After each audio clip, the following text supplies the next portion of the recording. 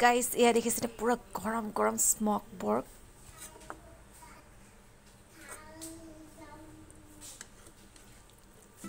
আৰু এইফালে একদম গৰম গৰম কচু শাক বনি আছে খুন্দা মাছৰ লগত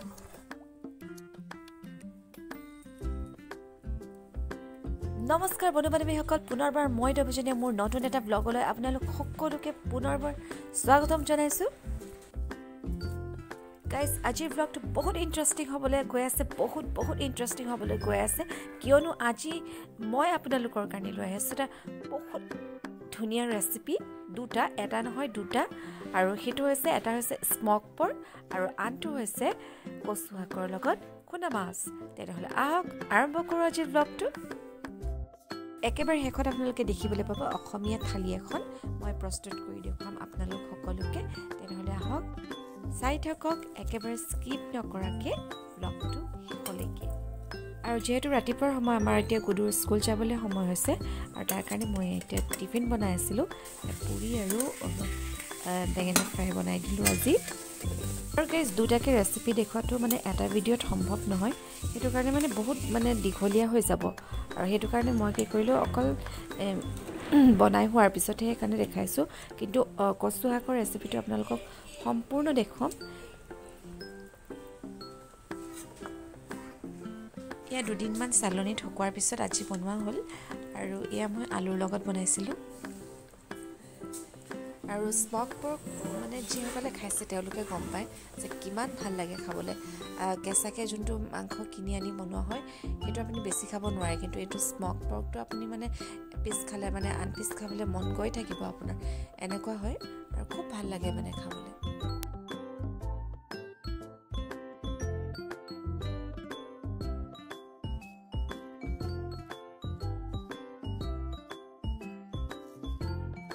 আৰু ইতিমধ্যে মোৰ স্পক পৰ্ক বনাই হৈ গৈছে। আৰু এতিয়া মই বনাম এয়া সৰিয়হ শাক আৰু এয়া কচু শাক কচু শাকখিনি মায়ে বনাব আৰু মই বনাম সৰিয়হ শাক। আৰু চাই থাকক তেনেহ'লে। গাইজ মায়ে এতিয়া কচু শাক বনাব মই মাছৰ পৰা দি দিওঁগৈ। আৰু এটা কথা কৈ থওঁ মায়ে যেতিয়া মানে কচু শাক বনায় তেতিয়া মায়ে কেতিয়াও তেল নামাৰে এনেকৈ বইলকৈ বনায়। এয়া প্ৰথমতে পানীখিনি উতলিব দিয়াৰ পিছত কচু শাকখিনি দি দিছে। আৰু ইয়াত বেলেগ একোৱেই নিদিয়ে মায়ে অকল ইয়াত জলকীয়া দিয়া হৈছে নহৰু আদা একোৱেই দিয়া হোৱা নাই। আৰু ইয়াত এতিয়া খুন্দা মাছ দি দিছে। তথাপিও কিন্তু সোৱাদটো বহুত মানে ভাল লাগে খাবলৈ। আমি বনালে মানে সেইটো সোৱাদ উঠাবই নোৱাৰোঁ। আৰু ৰাতিপুৱাৰ সময়ত যিহেতু সেইকাৰণে দেউতা আছে গোঁসাই ঘৰত সেয়া দেউতা গোঁসাই ঘৰত সদায় চাকি বন্তি জ্বলায় ৰাতিপুৱা সময়ত। আৰু এতিয়া মায়ে ইয়াত খুন্দা মাছ দি দিলে। কচুখিনি আৰু অকণমান এতিয়া সিজাব লাগিব। আৰু সিজোৱাৰ পিছত ইয়াত ঘাটনি মাৰি দিয়া হ'ব।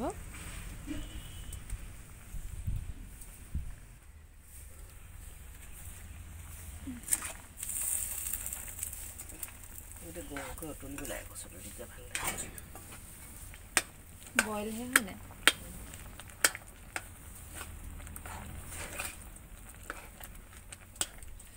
কচু কমেই হ'ল ন? নাই চাগে কচু কমালে। গৰ গৰকৈ উতলি পেলাই কচুটো তেতিয়া সোৱাদ নাই। উতলি থাকক আৰু অকণমান সময় তাৰপিছতে হৈ যাব।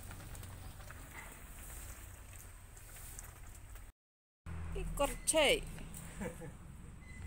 এইবোৰ গোটেই নিগনি গাঁত খান্দি দিলে না?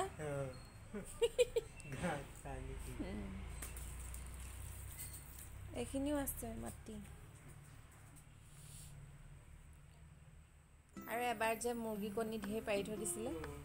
হে? তেইছটামান আছিলে ন?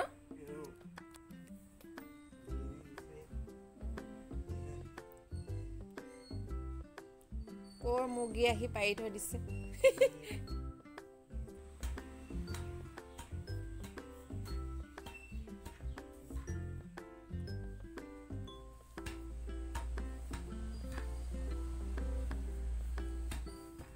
আপুনি খাব নাই কচু শাক কচু শাক খাব নাই?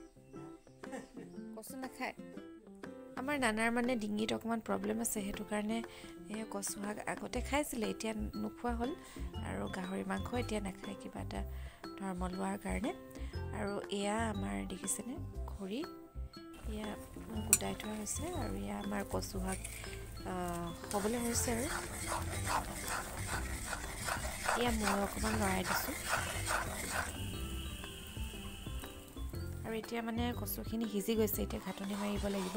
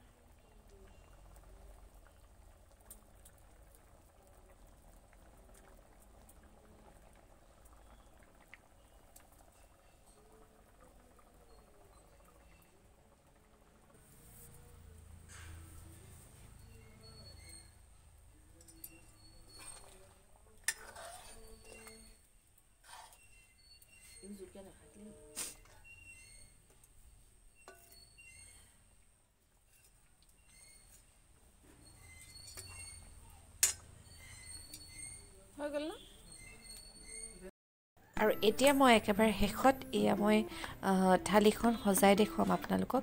আজিনো কি কি বনালোঁ? এয়া দেখিছেনে? সৰিয়হ শাক। এয়া সৰিয়হ সৰিয়হ শাক বনাইছিলোঁ।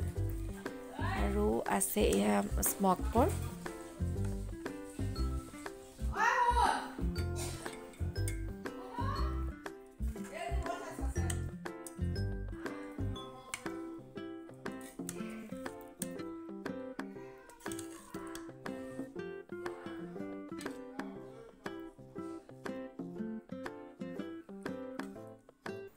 আৰু আগতে আমাৰ মায়েও খাইছিলে গাহৰি মাংস কিন্তু মানে গোসাঁই ঘৰত সোমোৱাৰ কাৰণে তেওঁ এতিয়া বাদ দিলে খাবলৈ।